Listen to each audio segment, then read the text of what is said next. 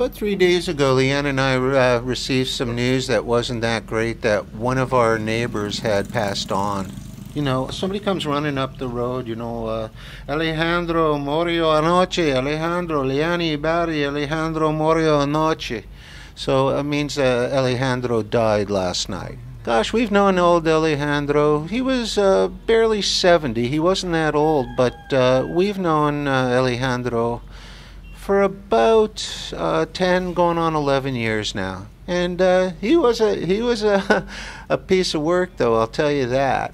But uh, he was a peaceful guy. he kind of loved his rum and animals more than he did other people. He didn't need people, you know, many people in his lives. He he was happy in his little wooden house, and he'd slaughter pigs for a living and what have you. The markets would bring him, and he would butcher them. He did a great job at that. I have to say that. You know, the markets would pay him for each animal he had butchered, and it gave him enough money for food. And uh, the little house he had wasn't much to take care of, so that didn't cost all that much. And of course, his uh, little bit of uh, Brugal.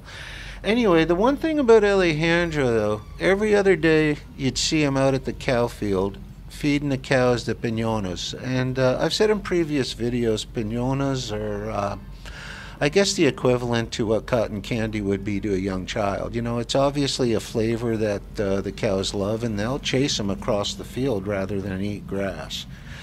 So every day, every other day, you'd see Alejandro out there and uh, he'd be, you know, breaking off branches and feeding them to the cows, and the cows just used, got used to coming over there every day.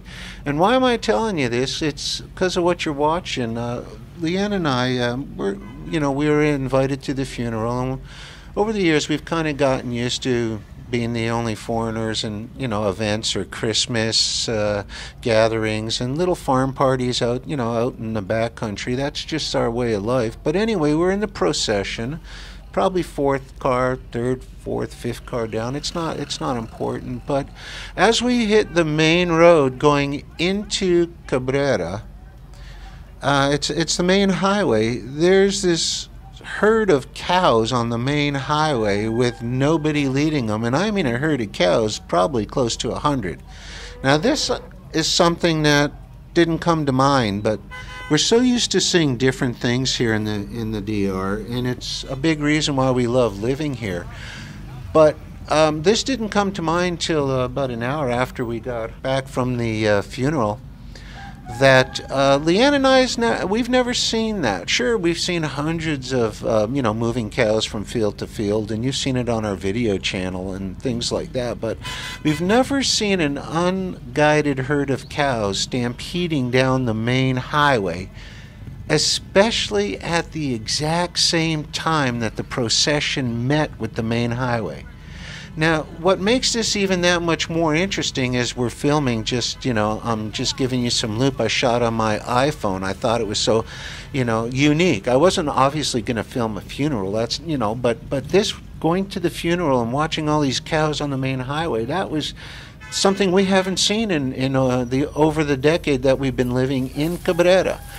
Anyway, it's funny how the herd, a large part of it, parked themselves at the far side of the intersection, and cars are honking and trucks are honking their horn. They're not getting through, but anyway, they were forcing everybody to turn right, and, and the funeral park was a quarter block away from that. And after everybody turned right, they all kind of picked up and went, continued on their way.